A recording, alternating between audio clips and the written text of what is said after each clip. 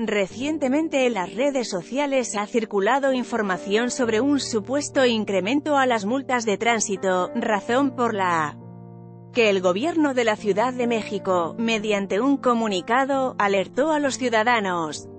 El supuesto incremento en los montos de las multas por infracciones de tránsito en esta ciudad que circula en redes sociales es información falsa aseguraron que Cualquier aumento que se realice deberán ser determinados a partir de la Unidad de Medida y Actualización, UMA, la cual es la encargada de determinar el valor del pago de obligaciones, supuestos previstos y disposiciones jurídicas en las leyes federales, así como de la capital. Además, el gobierno de la ciudad añadió que estas cifras serán dadas a conocer a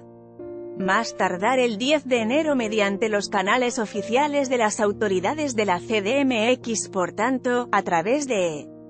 su cuenta oficial en Twitter, el gobierno de la CDMX recomendó que siempre hay verificar la información en fuentes confiables.